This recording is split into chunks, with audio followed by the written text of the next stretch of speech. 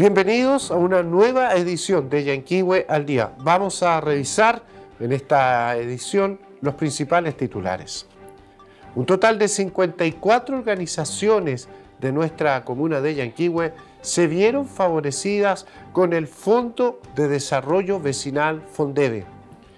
El pasado martes 6 de diciembre, una importante obra entregó a la comunidad Fundación Legado Chile se realizó el taller Aprendamos Artes de Cocinería en Altos de Yanquihue. Y también se llevó a cabo a través del programa Quiero mi barrio la colocación de dos importantes piedras en obras de desarrollo para nuestra comunidad. Dicho esto, hacemos un breve corte y vamos a la revisión de estas informaciones.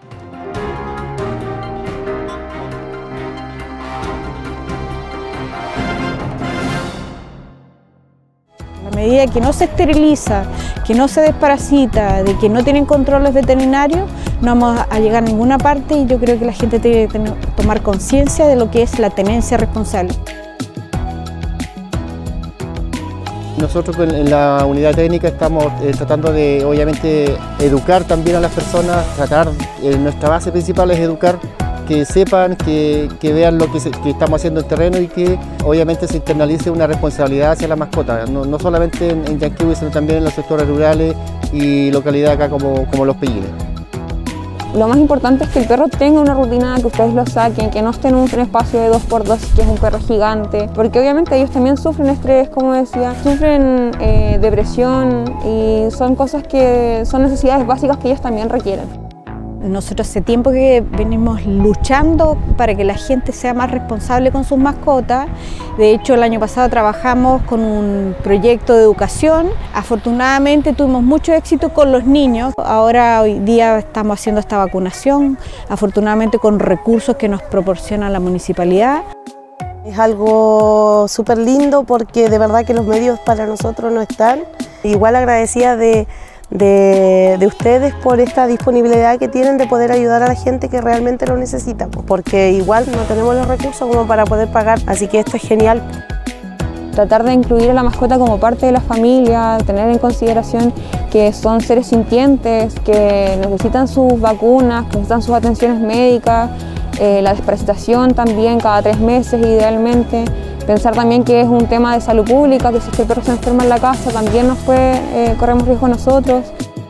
Poder ponerse la mano en el corazón que si uno tiene una perrita la cual se preña y pare, eh, después esos perritos salen a la calle, se enferman de parvovirus, de distemper, mueren. Y para uno es triste porque los ve así el día a día que pasan, así que poder tener un poco más de responsabilidad nosotros como adultos.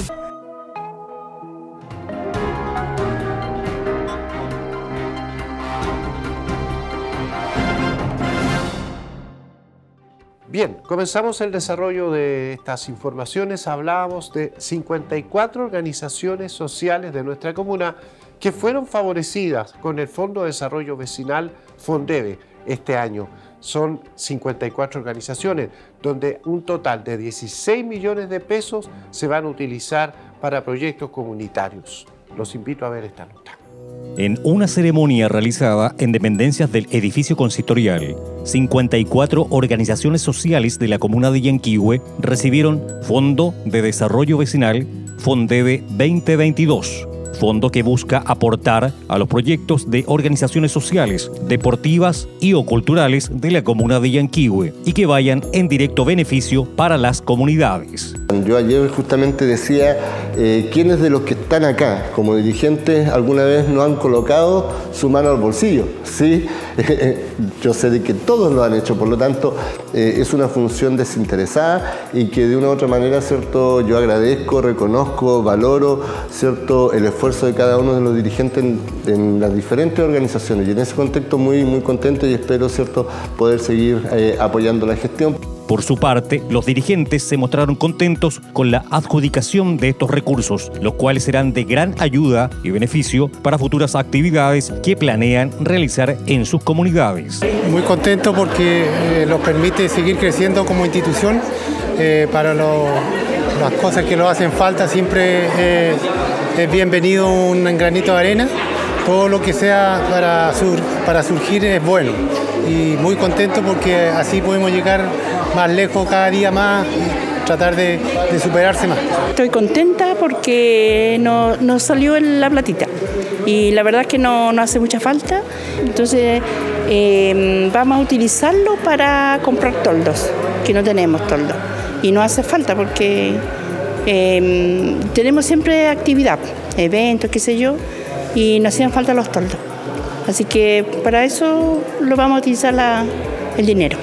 En la ceremonia, el edil anunció que se plantea aumentar la cobertura y los montos para el próximo proceso, así como también la creación de un programa adicional para las mantenciones de infraestructura de las sedes sociales que poseen las organizaciones.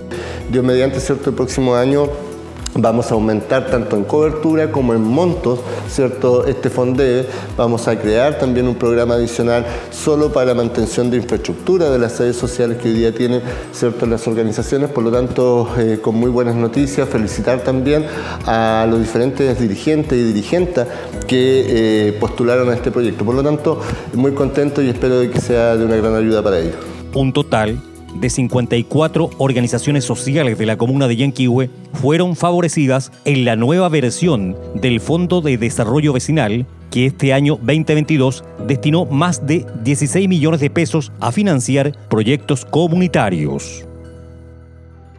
Importante eh, el desarrollo, importante el mejoramiento de la calidad de vida, sobre todo en esta fecha tan especial donde todo el mundo quiere ver bonito su barrio, bonito su entorno y todo aquello. Una muy buena noticia para todos ellos. La siguiente información tiene que ver también con, nuestro medio ambiente, con nuestro entorno. Nos referimos a lo que aconteció el pasado martes 6 de diciembre donde la Fundación Legados Chile, junto a un grupo de organizaciones sociales, hizo entrega de una importante obra. Vamos a ver esta nota. Fundación Legados Chile, en conjunto a la Junta de Vecinos Nuevo Amanecer, Agrupación Río Maullín, Pescadores y los niños y niñas del sector, se llevó a cabo la inauguración y entrega de la obra de confianza del proyecto Portal del Río Maullín. Bueno, este juego es una obra de confianza que quisimos hacer con la Fundación en base a toda la conversación y a las consultas que hemos generado con la comunidad residente aquí del borde Río Maullín. Hicimos tres consultas ciudadanas eh, en donde los resultados primero arrojaron que este era un lugar con gran potencial. En una segunda consulta pudimos priorizar el uso que le querían dar este lugar como un espacio de recreación para los niños. Y en tercer lugar pudimos preguntarle directamente a los niños cuáles eran sus juegos favoritos y en base a esa información eh, diseñar este, este proyecto que era, es un gran edificio de juegos en el fondo para que los niños puedan disfrutar de este lugar y desde chicos ya poder apropiarse del borde río y poder generar un sentimiento de identidad y de cariño con el patrimonio natural. Los vecinos y vecinas hicieron notar su alegría participando de esta inauguración acompañados de sus hijos e hijas, quienes jugaban y disfrutaban de este nuevo espacio. Porque igual hacía falta que ocupen este espacio, más que hay hartos niños, pues entonces, muy buena idea. Es algo súper bonito, algo muy curioso, muy entretenido para los niños, cosa que no, no es muy común acá, pero bonito. Que la gente igual se tenga conciencia de cuidar las cosas, porque al fin y al cabo es para nuestro hijo y para que le sirva a ellos igual, para que se vea súper bonito.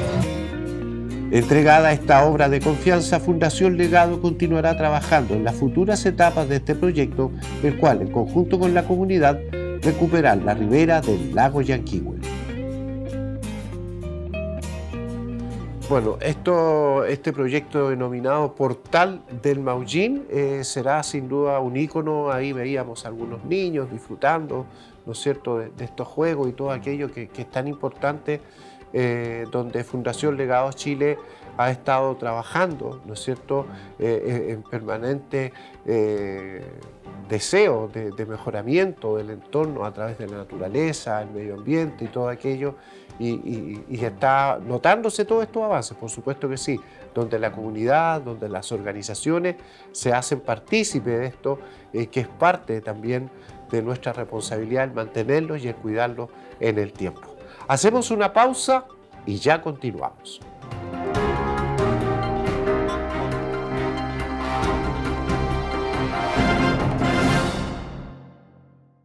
Los niños que les gusta el arte es muy difícil eh, que tengan un taller y para mí esto fue fantástico y para él también, que bien se levanta con una emoción para venir. Más encima gratis, cerquita de la casa, en un lugar bonito.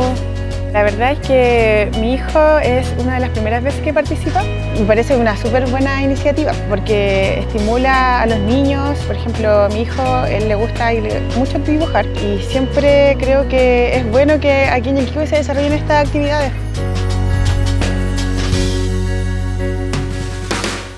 Con el apoyo de la municipalidad, este 2022 tenemos la oportunidad de poder trabajar un taller anual Así que estamos muy contentos de, poder de tener los recursos para poder implementar este taller y también estamos muy contentos como taller Arte y Niñez también de poder seguir contando con el apoyo de la comunidad. Ella está súper entusiasmada, hoy día fue su primera jornada y estaba a la espera de esta, de esta oportunidad para poder participar y conocer otros niños también.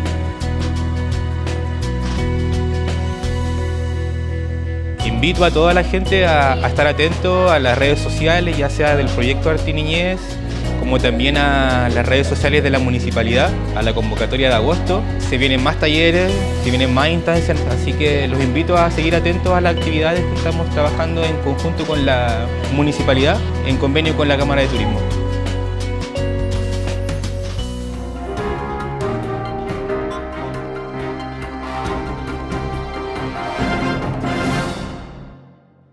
Bien, volvemos, volvemos con una noticia bastante buena, fíjense, porque hay mucha gente que en esta época, sobre todo de fin de año, le gusta cocinar, le gusta prepararse algo rico o sorprender a alguien con, algún queque, etcétera, etcétera. Bueno, pero no todos tienen la dicha de saber cocinar como les gustaría. Bueno, es por ello que se realizó un taller que se denomina Aprendamos Artes de Cocinería en Altos de Yanquihue. Veamos la ruta. En dependencias de la sede Altos de Baquedano se llevó a cabo el cierre del taller Aprendamos Artes de Cocinería en Altos del Yanquihue, taller donde vecinas del sector pudieron participar y aprender nuevas técnicas de cocina. Realmente hemos quedado muy gratamente sorprendidos por, primero por el compromiso de, las vecinas en este taller, todo lo que aprendieron y conversando con la presidenta de la Junta de Vecinos, eh, entregamos un saludo además de nuestro alcalde, Víctor Angulo, porque como municipalidad y como alcaldía eh, estamos siempre apoyando este tipo de iniciativas a través de nuestro departamento de planificación. Saludar también muy especialmente a Mauricio Rocha, que es el que está liderando la presentación de estos proyectos al eh, Fondo Regional, el Gobierno Regional. Así que muy contento de poder acompañar a estas vecinas en su primer proyecto, su primer financiamiento del 7% y sin duda ellas mismas nos contaron que van a seguir adelante con otras iniciativas. Para poder llevar a cabo el taller de cocina, también compraron utensilios electrodomésticos y muebles de cocina y así también poder hermosear su sede. las vecinas es un proyecto que lo ha dado bastante rendimiento porque lo han enseñado el profesor muy bueno, lo enseñó bastante técnica para cocinar las, vecinas que se metieron en este curso quedaron muy interesadas, muy comprometidas. Tengo que dar muchas las gracias en eso porque les resultó bien atractivo el curso, cosa que somos, hay personas igual que tienen sus años, pero habían técnicas que no se sabían. la experiencia con las beneficiarias acá en la Junta de Vecinos Altos de Baquedano fue enriquecedora, porque ellas aprendieron mucho y siempre tuvieron disposición de aprender. Se le enseñó hartas técnicas de cocina, eh, esto en cuanto a masas, eh, masas para repostería, masas para, para pastar huevo también. Estuvimos haciendo una pasadita por la cocina italiana y tartaleta y cosas por el estilo. También esto hicimos algunos cheesecake, también hicimos esto pay de mandarina, pay de limón y siempre ella dispuesta a aprender. Las y los vecinos de Altos de Yanquihue recibieron clases por un profesional de cocina realizando un trabajo personalizado, lo que también contribuirá a que ellos puedan elaborar productos para vender y así poder generar ingresos a sus hogares. ¿Ves? Ahí estaba esa interesante nota para aprender a cocinar, para tener los, primeros, los primeros pasos, ¿ah? el A, E, I, O, U de la cocina para empezar a hacer todo lo que lo que a uno le gusta y poder atender a su familia también. La siguiente información tiene que ver eh, con lo que es el, programa eh, Chile Quiero Mi Barrio. eh, que es tan importante ¿ah? Esto de, querer mejorar la cuadra, las veredas, el entorno. Bueno, se llevaron a cabo dos actividades importantes, el mejoramiento en la multicancha Richard Hudson y la reposición de la vereda norte, en la Herardo Werner. Los invito a ver esta nota. Con la presencia del Ceremi de Vivienda y Urbanismo, Fabián Nail Álvarez, el alcalde de la comuna de Yanquihue, Víctor Angulo Muñoz, el diputado Héctor Barría, concejales, vecinos y vecinas del sector, se llevó a cabo la colocación de las primeras piedras de dos obras anheladas por las juntas de vecinos que trabajan junto al programa Quiero mi barrio. Yo primero que todo quiero indicar y manifestar de que este es un muy buen programa, ya porque de una u otra manera involucra y hace participar a los vecinos. ¿Ya? Y eso es muy rescatable. Nosotros estamos muy contentos con el, con, el programa, este es un, tema que comenzamos a postular el año 2017 y por diferentes motivos, ¿cierto? Se fue atrasando, se fue retrasando, eh, una pandemia de por medio, pero hoy día estamos acá, estamos colocando la primera piedra de las dos primeras obras de cuatro, ¿cierto? Que contempla el, el programa Quiero mi barrio. Quiero agradecer especialmente a los dirigentes y a las dirigentes, ¿cierto? De cada uno de los barrios involucrados que estuvimos desde un comienzo, ¿cierto? Trabajando en este proyecto maravilloso que no me cabe la menor duda va a cambiar eh, la, la calidad de vida de las personas. Por su parte, Fabián Nail, Ceremi de Vivienda y Urbanismo de la región de los lagos, destacó la importancia del trabajo con los mismos vecinos y vecinas de los sectores y la relevancia que toma el programa Quiero mi barrio en esta materia, donde se generan obras que los mismos vecinos son quienes deciden y priorizan. Bueno, siempre es emocionante y es importante para nosotros, para nuestro ministerio, el, poder estar presente en estas actividades, porque esto es un programa muy relevante, porque recupera el tejido social, recupera las confianzas entre los vecinos y vecinas, y, mejor aún, que hace realidad las propias, los propios requerimientos de los vecinos, que en el fondo no es el Estado, no es el gobierno, no es un programa el que viene a establecer la solución, sino que son los propios vecinos que vienen a hacer realidad esos requerimientos. Los vecinos del sector se mostraron felices con estas primeras piedras, dado que proyectos como estos son esperados por muchos años por los vecinos del sector. Yo soy nacida y criada acá y creo que yo lo que más anhelaba mi madre, que el padre padre, lo único que deseaba es que igual esto hubiera, se hubiera concretado y gracias a Dios se, logró. Y feliz, pues, feliz, gracias a Dios por todo lo que, que van a hacer ahora, van a empezar las obras. Aquí tenemos el estero Sarao, todavía tenemos verde y eso hay que mantenerlo, hay que potenciarlo. Por ejemplo, aquí se va a intervenir un, espacio, una cancha, y un espacio para, un juego, para juegos de niños y también un espacio para adulto mayor para que hagan ejercicio.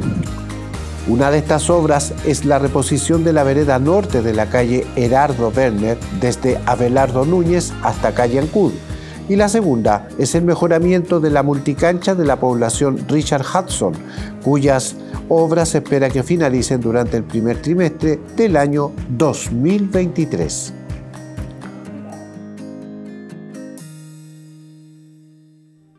Una nota positiva, lo que hablábamos, ¿no es cierto? Este, estos hitos de las primeras piedras para ir mejorando, para ir desarrollando, para ir... Eh, y todo esto es calidad de vida, todo esto es ver un entorno más hermoso. Todos queremos ver, así como nos gusta ver nuestra casa, eh, bien, bonita, nos gusta ver nuestra plaza también para, compartir, para ir a sentarse, para hacer eh, vida, vecinal, vida de barrio, juegos para los niños, veredas que se pueda transitar, calle que, se pueda transitar. Bueno, es indudable que todo esto requiere un trabajo, requiere una inversión donde el municipio también ha estado muy activo para este mejoramiento. Dejamos hasta aquí este noticiero Yanquihue al día, no sin antes darle las gracias por su preferencia. Hasta una próxima ocasión.